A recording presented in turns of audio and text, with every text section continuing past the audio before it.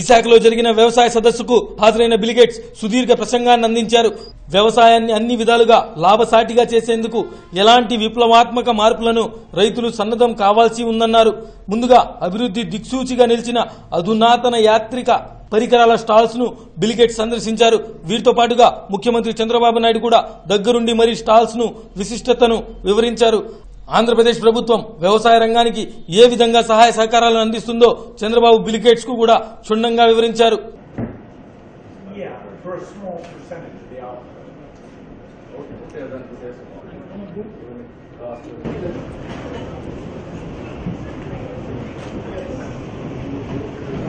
Yeah,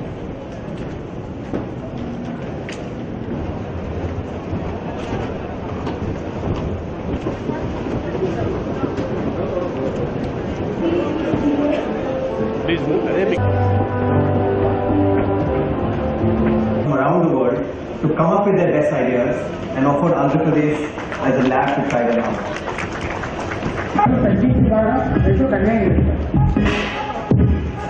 the valedictory ceremony of the Andhra Pradesh AgTech Summit 2017.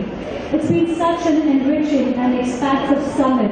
The participation of a cross-sectorial representation of agri experts from the private, the public and the non-governmental sectors has led and marginal farmers face today and how technology can help transform their current lives. And today we all gather for the bus of the event. Ladies and gentlemen, please join me in welcoming Old Honorable Chief Minister of Andhra Pradesh, Shri Nara Chandrababu Naidu. Can you please request him to join us on stage?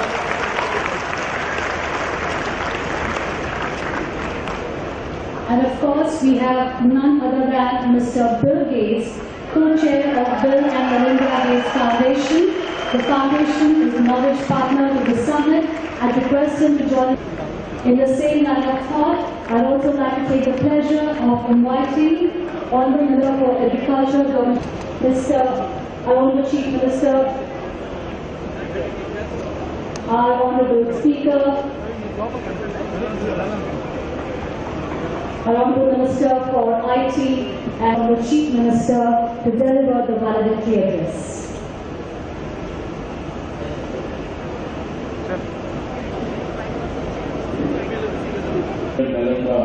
Gates Foundation, Honorable Speaker, respected Prime President, to receive Honorable Mr. Gates to Visakhapatnam. Visakhapatnam is a beautiful city, clean city. Is what Bill Gates always saying. Cleanliness is giving so much of importance. Today, we are seeing a great personality.